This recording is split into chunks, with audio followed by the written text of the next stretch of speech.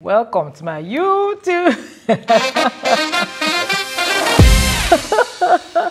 like I'm getting used to this YouTube thing, you know, and it's exciting. I love it. you know, since 2021, you've been asking me for this particular gist. As you all know, or many of you know, because I know we are getting a lot of new subscribers and viewers right now. In the past, before 2021, my boobies were way bigger than this, way bigger. Right now, I'm a double D. I used to be a K. That yeah, that's huge. And I know many of you have been asking me, Ife, how did you do it? I'm going to give you the full gist today. This gist I'm about to give you, I know some of you will need it because you also want to do it. I know some of you just want to hear gist. You know how you people are. First thing I want you to know is that boobies reduction that I did was first and foremost, and I'm being honest with you because it was just too big for me. I like I know I used to complain in a very funny way on Diary of a Naija Girl on Instagram about how my back hurts, you know, all of those things. It's true. My frame is quite small for that huge. So this is my boobs before I did it, right? And now here we are. so I mean, I packed it so well. People were like, if this is not that big, it, it, yeah, it, it was huge. It was huge, and it wasn't from a place for me of oh, uh, I just wanted to wear Iwoko, which I wanted to, but that's not the first reason. The first reason was it hurts my back, it hurt me, I couldn't sleep on my chest. Ay, man, you guys, it was very uncomfortable. I mean, I did it at the age of 2021, uh, 37, I think, 38. I did it at the age of 28, 38. And so for you to know that I had thought about it, thought about it since I was like 22 when my boobs were already bigger than my frame. I was thinking about should I do this, should I not do this? And you know what? I just realized at some point like, why not? You can do it. What is what exactly is stopping you? And I had people, especially my ex at the time, said, "Don't do it." But you know that one just self. You just like you just want to be seeing big breast. but I was like, I have to do this. I have to do this. So I went ahead and contacted a doctor. And, you know, we took it from there. And the first thing the doctor said really was, Why do you want to do this? I really like that question. And I said, Look, he helped me. I said, Yes, I can see like you're, you're quite on the slim side. And this is, this is a lot, you know. Of, of course, many women like that size. But I personally, it was just a lot for me. I went ahead and we booked consultations. Um, I took pictures, sent over. Then I went, you know, to the doctor to do it. And uh, I must say first, guys, that boob reduction is not cheap. The reason I'm not going to tell you my doctor is because I really don't want to be responsible for anything. We all know how these things are. Surgery is not something you just wake up and decide to do. It's not easy at all. It's it's risky. So that's why I wish I could tell you. You know, I can share anything with you guys, but this one I wish I could tell you, but I can't because I I don't want to be responsible for that. Right? First thing I did when I got to the hospital was, you know, they they you know when they put me on the thing, was it the, the, the bed, and they were trying to roll me out, like I was, I wanted to change my mind right there, like Ife, why, why do you need to do this? But at the time, you know, we're already there, so let's go. So I went ahead, and the doctor asked me, "What size of boobies do you want?" Ah, ladies and gentlemen, I thought to myself, "Wait, how small can I go?" in real life. I also thought, mm, I don't want small boobies, right? Let me balance it and say a double D. Remember, oh, you remember this thing I said later in the video? I said I wanted what? Double D. We went into, into the theater. Of course, you know how they'll give you anesthesia and then you you just don't know when you sleep off. I don't know. I can't even remember when I slept off. I sure know. I sure did not see the the the theater. I didn't say it. It just we just it just happened.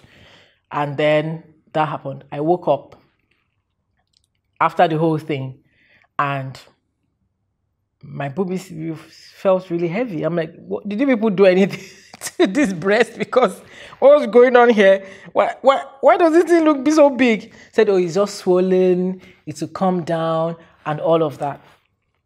Uh, what I want you to know is that the pain from breast reduction doesn't only hurt on your breast, it hurts on your armpit, your upper top stomach as well is painful.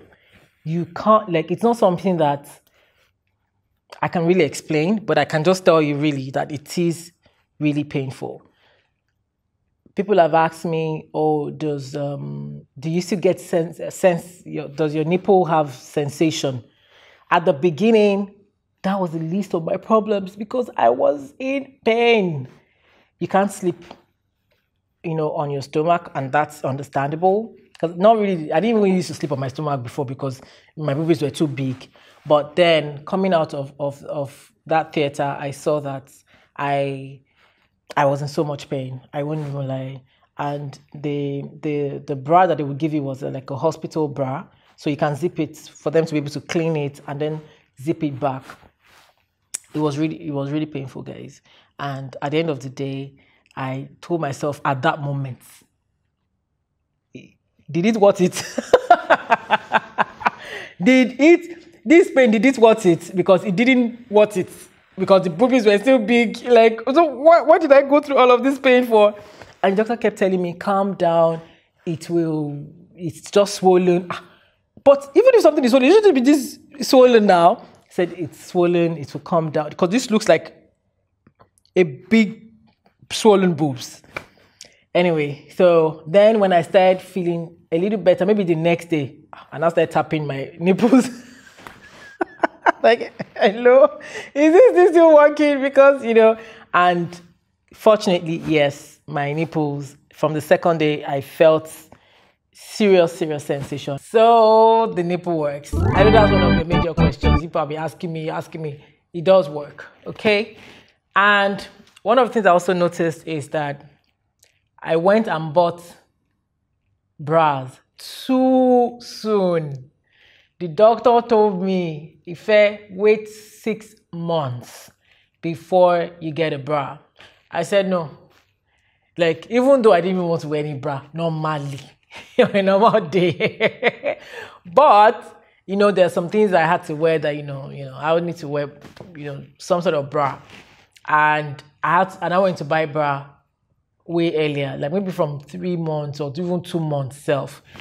Um, when it comes to healing, I must also say that I kind of I healed quite fast because you know they'll tell you take care of it, clean it, and all those things. So I really did heal fast.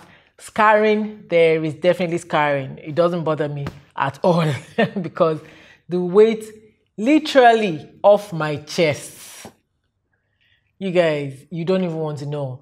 Like I said, initially it felt like it was really big. Gradually, the swelling reduced so much that I'm now a double D. And you can't see me doing this. You know, there was a, when I had really big boobs, nothing was comfortable. Nothing. Like no matter how amazing my bra was, it just my back just really I can't remember the last time I did that. I really can't remember the last time I did that. So like I was saying, I bought a bra too soon. I didn't wait for the swelling to really, really go down. All the bras I bought at three months, I can't wear them anymore right now. I bought, so then I was, I bought like a, an E, EF, double EF at the time.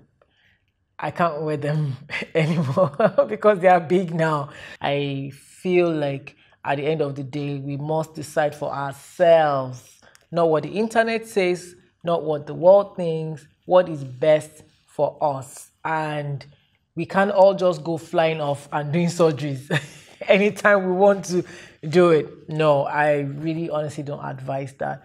But I just wanted you to know that this is my process, what happened with me.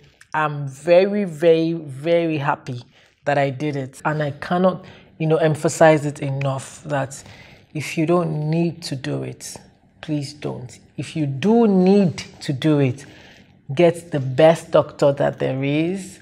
Don't risk your life out there. Here I am today, like living my life and enjoying it. So, guys, really, that's the gist for all of you that have been asking me for just That's the gist. And truly, I must tell you that you must be well informed. Please, please, please, I'm begging.